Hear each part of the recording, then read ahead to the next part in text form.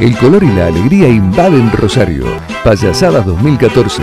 Un nuevo encuentro internacional de payasos y artistas urbanos se desplegará por toda la ciudad del 3 al 7 de diciembre.